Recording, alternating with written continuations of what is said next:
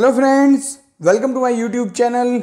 In this video, we are going to discuss about a job vacancy for fresher BSc Chemistry and uh, fresher MSc Chemistry student. This vacancy is in Valence Lab.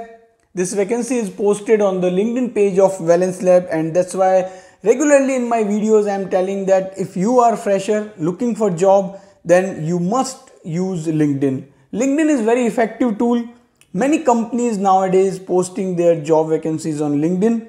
So this vacancy is also posted on the LinkedIn page of Valence Lab. Now, right after watching this video, you can go to LinkedIn and you can uh, you can search for the Valence Lab and you can find this job vacancy there. This thing you must do. And uh, if we talk about Valence Lab, so this is basically they are working in the field of uh, APIs. API is active pharmaceutical ingredient.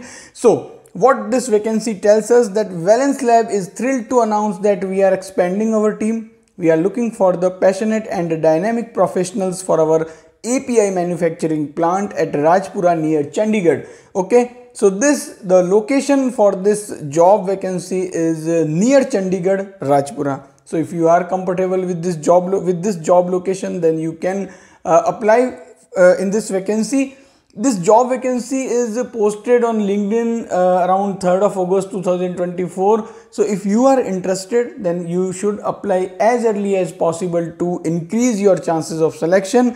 So here basically they have posted many uh, opportunities for the experienced candidate msc as well as uh, bsc chemistry. Like you can see here for the post for the research associate or scientist crd research associate or scientist ard uh, apart from that shift in charge and production chemist. So all of these vacancies are for the experienced candidate but uh, below they have also mentioned that fresher bsc or msc chemistry student can also apply. So if you want to apply uh, for this job vacancy you can uh, email your resume to the hr the email id is given here.